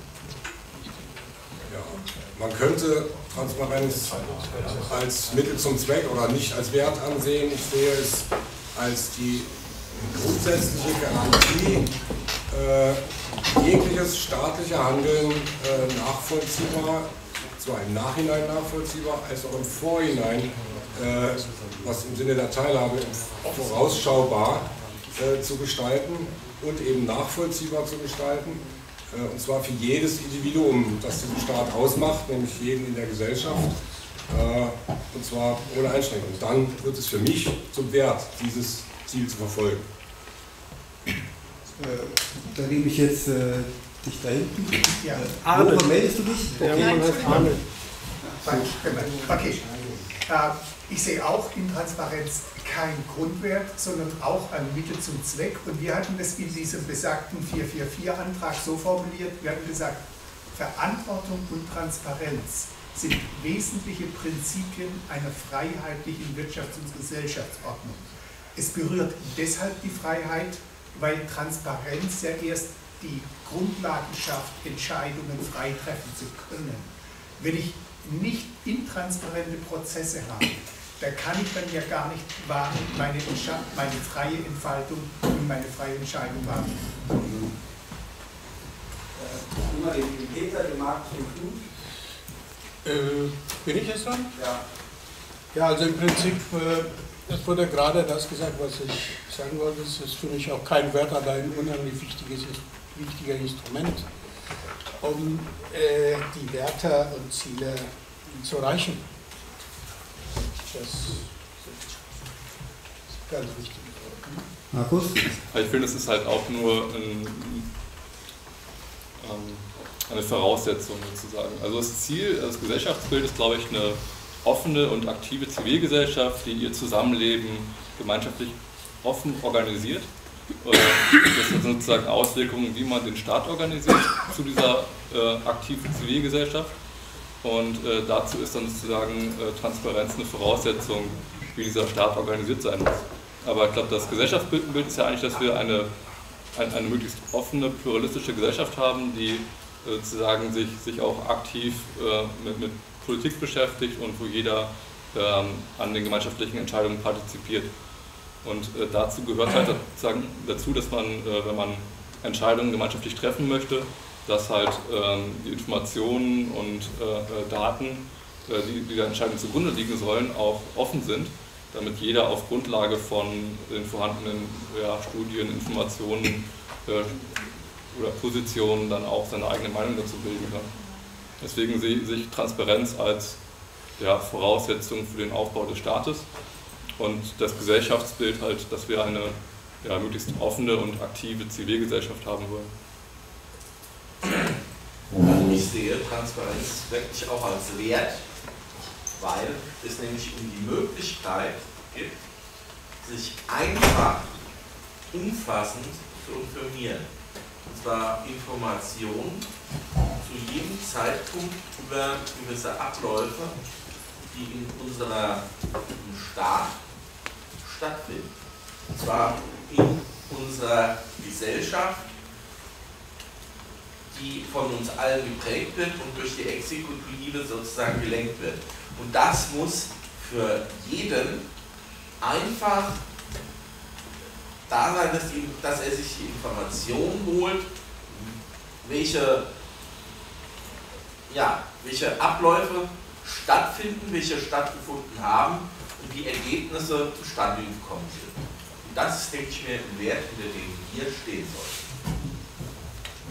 Ähm, wenn du nicht unterbrechen willst, würde ich auch die Reihe noch äh, fertig machen. Da sind noch ein paar. Dann würde ich dich da hinten nehmen, dann dich da hinten und dann den Erik. Der Markus redet zu viel. Sagt doch euren Namen immer mal, oder? Wenn ihr. Wenn ihr jetzt reinkommt. Ja. Ich, also Robert aus Wiesbaden. Diese ganze, dieser ganze Transparenzbegriff ist ja aus dem Schmerz geboren. Und zwar aus dem Schmerz, dass die wahrhaftigen Motive der Mächtigen uns gegenüber nicht veröffentlicht sind. Also, was wollen wir? Einblick. Gleichzeitig leben wir in einer Welt, in der vollständige Transparenz überhaupt gar nicht leistbar ist, nicht mal von uns, wenn wir uns zum Beispiel über irgendwelche Konzepte den Kopf zerbrechen und das öffentlich machen. Was vielleicht eine ganz dumme Idee ist an manchen Stellen. Also ist Transparenz überhaupt gar kein Wert an sich, sondern eine Forderung zur Offenlegung der wahrhaftigen Motive und der wahrhaftigen Abläufe, die hinter irgendwelchen Aktionen stehen, ob von uns oder von den Leuten, die die ganze Sache im Moment regieren. Daher ist Transparenz kein Wert, sondern es ist eine Vorgehensweise, die noch dazu kontextabhängig überlegt werden muss, an welcher Stelle wie viel Transparenz geschaffen wird. Das ist aber abhängig von der Motivlage und damit sozusagen ein dermaßen komplexes Feld, was sich damit eröffnet, dass die eigentliche, der eigentliche Wert dahinter ist, ganz dahinter meiner Ansicht nach Wahrhaftigkeit. Ehrlichkeit, Wahrhaftigkeit, Offenlegung der eigenen Motive und auch Einblick in die Motive der anderen. Also ein reiner Wert ist es so nicht. Ja. Kann dem größtenteils zustimmen. Also für mich ist es jetzt kein eigener Wert, aber es schützt einen Wert. Wobei der für mich, der Wert, der dahinter steht, für mich die äh, Selbstbestimmung ist. Und zwar aus zwei Gründen. Einmal wurde es ja schon angesprochen, der ganze Informationsgehalt. Ich kann eine Selbstbestimmung eigentlich nur dann richtig wahrnehmen, wenn ich richtig informiert bin. Und damit schützt das meine Selbstbestimmung. Das andere ist, wir haben auch weiter oben ja so ein bisschen eingeschränkt, äh, Freiheit und Selbstbestimmungsbegriff beim anderen Ende, sondern es, es muss Regeln geben. Das heißt, ich gebe Sachen weg von meiner totalen Freiheit und werde dann und kann dann sehen, was damit passiert. Also von dem, was mir schon weggenommen wurde, sozusagen, diese Einschränkung. Und damit heißt es für mich diese Selbstbestimmung. Ähm, ich will beiden Vorrednern zustimmen. Man könnte vielleicht auch ergänzend oder statt der Wahrhaftigkeit von Aufrichtigkeit sprechen, was auch ein Wert ist sozusagen, der, der, der noch fehlt, den wir vielleicht auch ein bisschen in den Transparenzbegriff reinmischen. Und ich will nochmal davor warnen, interessanterweise, Knut, deine Argumentation für Transparenz als Wert war dann doch immer, weil damit erreiche ich das und das und das. Also du hast es im Grunde so argumentiert, dass es doch immer nur ein Mittel war, um wieder was anderes zu erreichen. Und ich darf nur davor warnen, dass man Transparenz als, äh, als Wert etabliert, weil es äh, da ist zumindest der Punkt, wo man sich überlegen kann, ob nicht zu Recht dann der Piratenpartei auch irgendwelche totalitären Bestrebungen vorgeworfen werden. Und natürlich ist Transparenz an bestimmten Punkten ein Widerspruch zum Persönlichkeitsrecht, äh, äh, Datenschutzrechten, Privatsphäre und es ist im Gegensatz möglicherweise, wenn wir es auf den Staat alleine beziehen, dazu einfach zu der Realität, wenn wir uns militärisches oder wirtschaftliches Handeln vorstellen, wir können nicht sozusagen jetzt äh, jeden Tag im Wiki lesen, was unsere Geheimdienste gerade machen. Und auch nicht, was unsere Polizeien und ihre verdeckten Ermittler gerade machen. Es ist einfach, es geht einfach nicht. Ähm, der Markus will noch einen kleinen kurzen Satz und dann äh, noch einmal. Also, äh, es gibt durchaus einen Wertaspekt und zwar, äh, wenn wir als Partei auftreten und unsere Mitarbeit offen gestalten wollen, finden wir es wichtig, also wir legen Wert darauf, dass wir transparent sind, dass wir unseren Prozess offen gestalten. Äh, ansonsten es gibt diesen Staatstransparenzbegriff, äh, was sozusagen dann ist, wie wir als Gesellschaft das Ding sozusagen aufbauen wollen. Aber wir als Partei legen halt Wert oder finde ich es wichtig, dass wir selbst offen sind. Aber damit Leute teilhaben können und eben zum Beispiel, das ist scheißegal, ob ich jetzt gerade diese, diese Twitter-Nachrichten, ich war gerade auf dem Klo und habe so und so eine Wurst gelegt. Das ist genau dieser Schwachsinn auch. Ich meine, da ist es noch harmlos, da ist nur Schwachsinn, aber es führt auch zur Verstopfung von äh, Informationskanälen.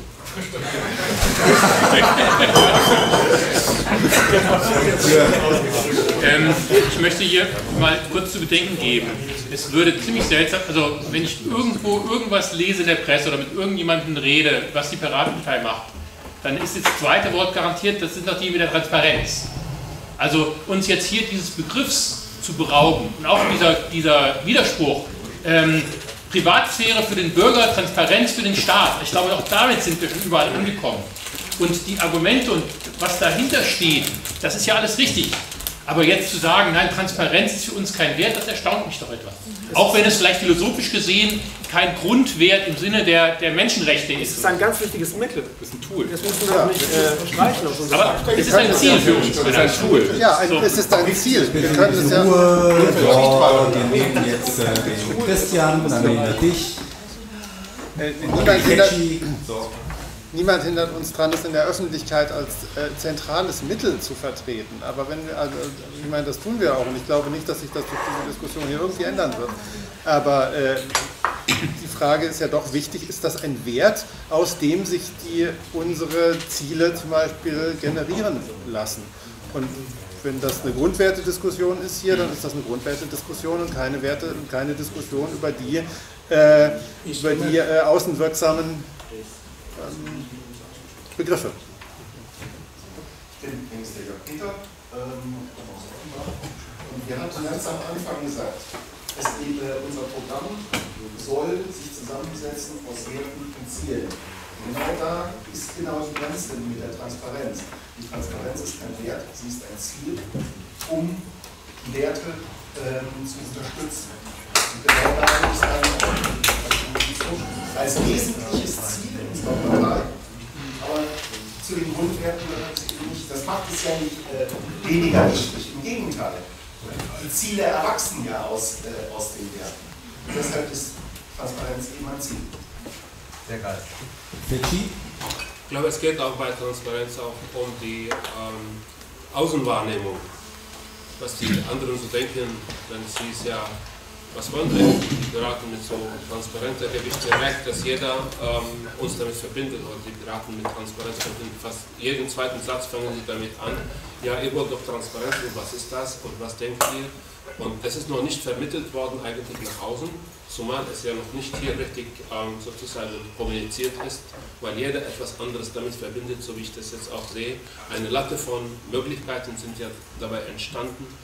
Ähm, das ist noch nicht so genau ähm, definiert und man weiß im Grunde nicht so genau, was man damit tatsächlich so nach außen trans transportiert. Das ist äh, meiner Meinung nach ist, ähm, ist noch offen. Ich verstehe vielleicht auch ein bisschen anders als alle anderen jetzt unter Transparenz. Ich verstehe Ehrlichkeit und ähm, äh, bei der Transport von, von Wissen nach außen. Was zum Beispiel ähm, ich als Individuum, als Mensch in dieser Gesellschaft lebe und was ich erlebe, möchte ich dann auch äh, zumindest über mein Individuum, äh, was geschieht mit mir, welche Optionen stehen dann mir offen, welche sind da habe ich auch das Wissen dafür, über diese Optionen. Und diese, wenn ich das Wissen habe, dann habe ich auch so, sozusagen das befreiende Wissen, wo ich dann mich als Bürger, äh, Bürger, Mensch in dieser Gesellschaft fühle. Und wenn diese Transparenz dann mir das ermöglicht, über mich selbst und über die Optionen, die für mich vielleicht zur Verfügung stehen oder auch über mich schweben, weiß, dann denke ich, da herrscht Transparenz. Das verstehe ich so als solche für mich. Und da müssen wir kommunizieren, wir müssen auch mal irgendwie sagen, das meinen wir damit und meinen jetzt nicht, dass jeder mal überall weiß, ähm, zum Beispiel, welche Grundstücke werden verkauft und welche Stadtverordnetenversammlung jetzt über was redet und so weiter, um Gottes Willen. Aber es wird in diese Richtung immer wieder äh, äh, diskutiert, vor allem von den anderen Parteien, so wird über uns hergefallen. Und da müssen wir auch immer sagen, Moment mal, wir haben einen Grundsatz und das bedeutet das und das und das. Das, das sind auch Programmpunkte. Programm. Ähm, wir haben noch ah, neun Minuten, es lohnt sich, einen neuen Punkt anzufangen. Ich würde jetzt sagen, ich lasse jetzt hier noch äh, gerade drei Leute was sagen und dann komme ich mal zum Abschluss. Dann würde ich nämlich noch den, äh, Oder? Vorher würde ich gerne noch eine Frage in den Raum. Und zwar jetzt gesagt worden, es sei eben, es kristallisiert sich aus dem Meinungsbild hier heraus, es sei eben kein äh, Grundwert, sondern ein Ziel. Ähm, dann würde ich aber gerne noch von den restlichen Rädern nochmal eine Idee dazu haben, aus welchem Grundwert denn wir das Ziel Transparenz ableiten würden. Dann, dann Moment, Peter, dann äh, der Christoph, dann der Christian da hinten und dann der Peter und ein wenig kurz fassen, wenn es geht. Also ich finde das völlig klar, aus welchem Grundwert sich das ableitet. Das ist der Wert der Demokratie. Also meines Erachtens wollen wir einen demokratischen Staat, wo Bürger die Möglichkeit haben, am politischen teilzuhaben. Und dafür ist eben dieses Werkzeug der Transparenz ähm, die, also eine Voraussetzung. Das ähm, wurde auch alles schon vorher gesagt. Ähm, also ich meine, das, das äh, gibt es eigentlich seit Knut auf dem Plakat war, ähm, das aussagte mit saufem Text, wir stehen für radikale Demokratie, also für eine Dezentralisation von Gewalt, am besten auf alle Bürger, sodass ähm, wir halt einen ja, gleichberechtigten politischen Prozess haben. Das ist meiner Meinung nach das, was hinter dieser Transparenz steht. Das ist auch nicht das, was ich in der Kurzfassung verstehe. Christian? Ich halte halt mich kurz. Ich bin wirklich auch der Meinung, Transparenz eher Wahlprogramm, Ziel der Partei.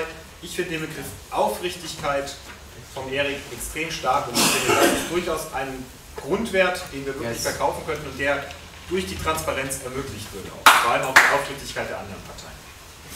Peter? Ähm, ja, ähnlich. Das, aber nach meiner Auffassung, es dreht sich ein bisschen alles im Kreis, weil letztendlich müssen wir uns darauf konzentrieren, zu unterscheiden, was ist ein Wert. Für mich zum Beispiel ein Wert wäre Toleranz, Freiheit. Und was ist ein Instrument, um irgendein Ziel zu erreichen? Das ist, die Transparenz ist für mich einfach eine der vielen Instrumente, ich würde sagen sogar unverzichtbar, aber es ist ein Instrument, es ist kein Wert für mich und das sollen wir einfach unterscheiden. Ja. Okay, jetzt der andere Peter, den ich eigentlich meinte. ähm, Transparenz ist die Nachvollziehbarkeit der Organe im Staat. Denn der Staat umfasst eigentlich viel mehr als nur das, was ihr die ganze Zeit mit Staat gleichsetzt. Ihr meint die Regierung und ihre untergeordneten Einheiten. Wenn wir aber reden, Transparenz ist die Nachvollziehbarkeit der Entscheidung oder des Handeln der Organe im Staat, dann haben wir es ein bisschen präziser oder auch deutlicher in meinen Augen herausformuliert. Der Knut hat noch drei Worte. Recht auf Informationsfreiheit. Wow. Alles klar, vielen Dank. Das war cool. Okay, ähm, ich fasse mal zusammen. Wir sind ähm, oft ein wenig uneinig, was überhaupt ein Wert ist und was nicht. Und wenn wir einen Wert haben, den wir alle als Wert anerkennen, dann sind wir uns äh, nicht zwingend einig, was dieser Wert bedeutet. Worüber wir uns einig sind hier alle ist, dass wir das irgendwann mal ausformulieren sollten und den Konsens finden sollten. Ähm, die Frage ist, wie machen wir weiter?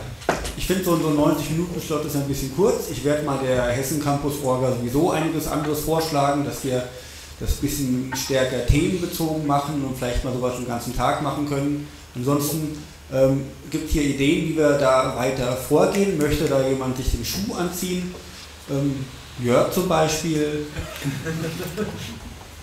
Ich werde für morgen einen Barcamp-Slot vorschlagen, um die Punkte Internationalität, Denke selbst und Nachhaltigkeit doch nochmal zu diskutieren.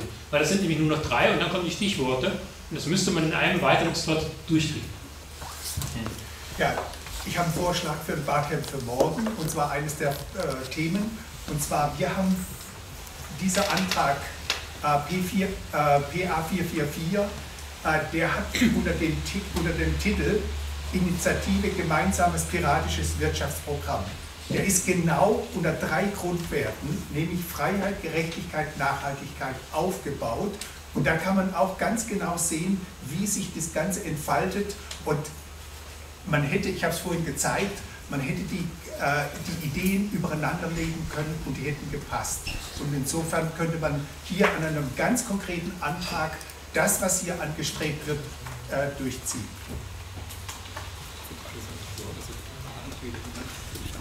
Ich habe, ähm, also ich schließe mich so ein bisschen äh, dem Stefan an mit der Ansicht, dass so 90 Minuten Slots ein bisschen kurz sind und auch so eine Plenumsdiskussion nicht immer ähm, zielführend. Es gibt moderative oder Moderationsmethoden, die ähm, solche Themenerarbeitungen möglicherweise ähm, ähm, ermöglichen, zum Beispiel World Café oder Open Space oder sowas, wo man in, in kleinen Gruppen dann aber durch alle kleinen Gruppen wandert. Also jeder darf an jedem Thema mitarbeiten ähm, und trotzdem äh, diskutiert man an dem Thema jetzt nicht alles in der großen Gruppe.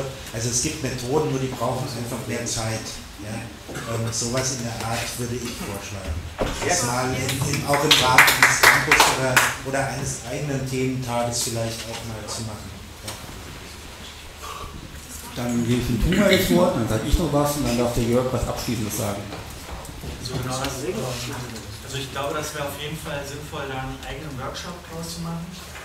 Und ähm, wenn sich jemand um einen Raum kümmert und dann einlädt, und also ich glaube, das ist besser face-to-face -face, äh, zu diskutieren, wie wenn man das jetzt in irgendeiner Mumble oder Telco äh, macht, weil es hier einfach ähm, ja doch direkter kommuniziert werden muss und ähm, sonst geht es durcheinander.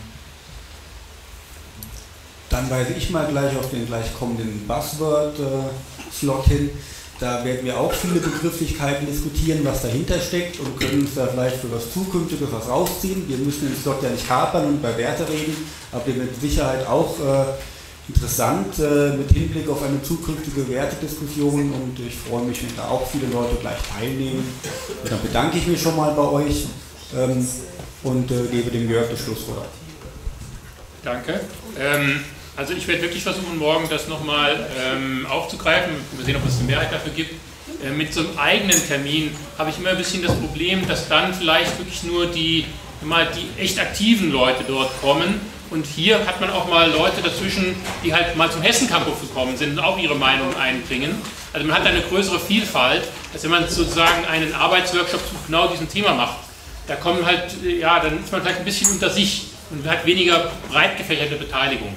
Also im Zweifelsfall würde ich es eher für den nächsten Hessen-Campus wieder auf die Agenda bringen äh, und zwischendurch halt natürlich weiter an dem Thema arbeiten wollen, ähm, als jetzt das so absondern zu wollen.